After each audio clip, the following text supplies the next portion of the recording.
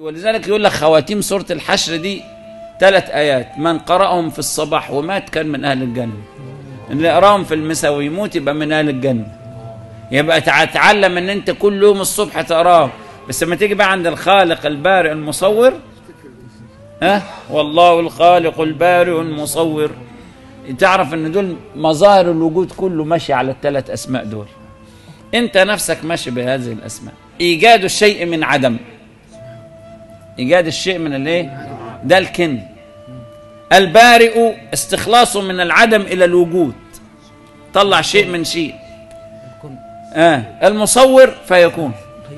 الخالق البارئ المصور. أنا إيه إيه مظاهر تجلي الأسماء دي عليا أنا قبل قبل قبل الوجود خالص كنت عدم. فقال كن فإذا سويته ونفخت فيه إيه؟ من روحي. يبقى ده خالق. سويته خالق.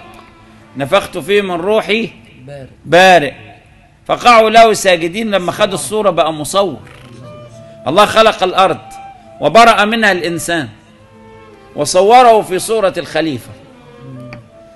فالإنسان مجرى مجلى الثلاث أسماء. الخالق البارئ المصور. حب يوجدك؟ بقى خالق. طب طلعني من بطن أمي بقى بارئ وأعطاني صورة. بقى مصور. يبقى وأنا لسه في عالم ال- الحكم. ما اتخلقتش. كنت في كن.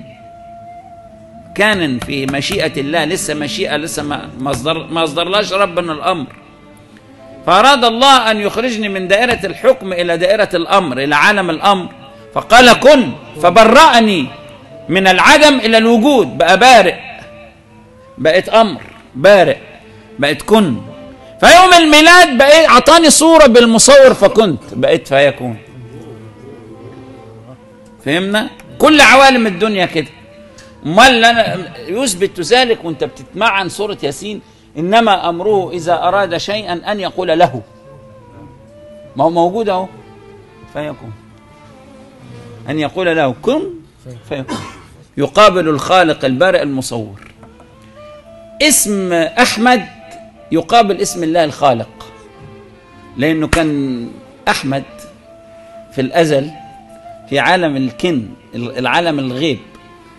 بعدين راح ربنا قال كن محمد فكان محمد. فلما صوره كان محمود. يبقى أحمد يقابل اسم الله الخالق. محمد يقابل اسم الله البارئ. ها؟ محمود يقابل اسم الله الايه؟ المصور. فهمنا؟ فقل سبحان من أنشأ وصور.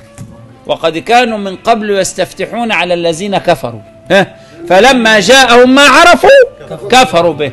يقصد يهود المدينة. تخيلوا هذا الغباء يا اخوانا طب إيه الحكاية بتاع يهود المدينة دول؟ انت أنتوا عارفين السيدة صفية مرات سيدنا النبي؟ صفية بنت حيي بن الأخطب. حيي بن الأخطب ده كان كبير بني النضير وراهبهم وعابدهم. متوصيين بوصية نبوية إن أنتوا تستنوا هنا لما يجي آخر الزمان. وكل واحد فيكم وهو بيصلي يترد عليه ويسلم عليه ويصلي عليه. ولما يتولد يوص... ما يموت يوصي ابنه إن يستنى نبي آخر الزمان.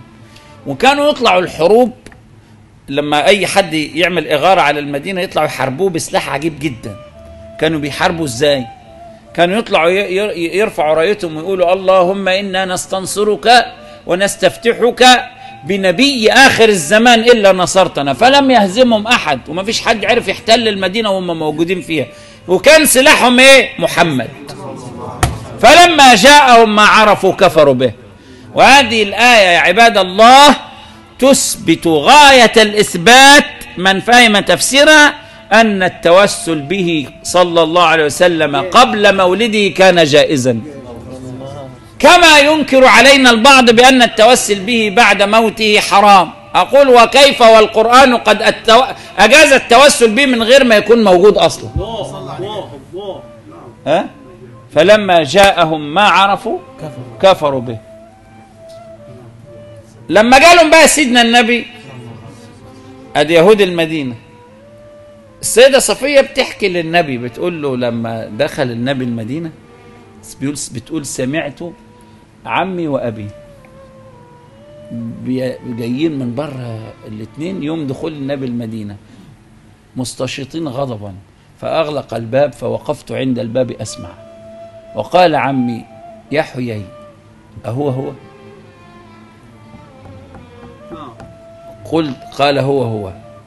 قال وماذا تنوي؟ قال عداوته ما بقيت. عند. عند.